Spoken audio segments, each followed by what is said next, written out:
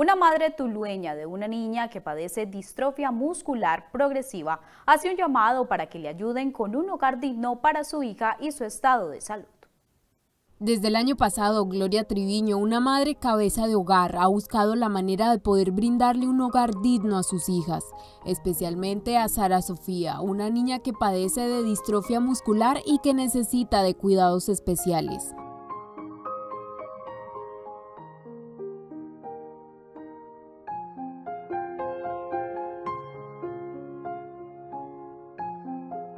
Yo desde el 2021 eh, expuse mi caso en,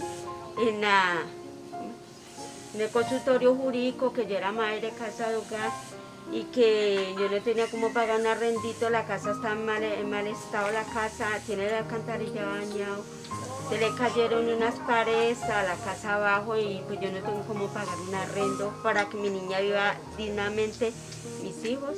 Y entonces yo comenté todo mi caso, pues yo no, pues no puedo trabajar porque tengo que estar al cuidado de mi hija. Pues yo salgo y lavo ropitas en las pruebas o algo así cuando resulta que me llaman, yo lo hago. Y pues no requiero una ayuda, una ayuda así, pues lo único que recibo son 80 mil pesos de familia de nación, de mis hijos y no más.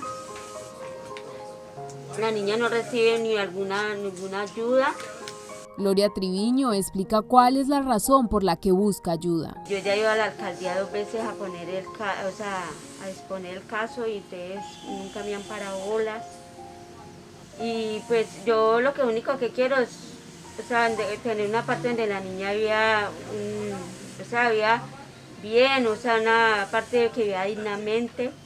Ante la Secretaría de Bienestar Social, Gloria interpuso un derecho de petición exponiendo su caso en busca de un apoyo y resaltando la necesidad del servicio de energía como principal fuente de vida de Sara Sofía. Puse el caso de que esta casa no tenía luz y que mi niña requiere de la luz por lo que tiene gastro y traqueostomía, entonces que ella necesita de la luz.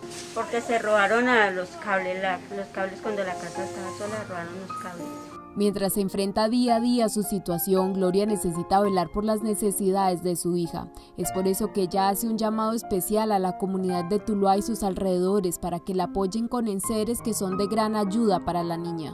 Si te gustó esta nota de CNS Noticias Tuluá, no olvides suscribirte a nuestro canal de YouTube Teluro Producciones y activar la campana para que te lleguen todas las notificaciones.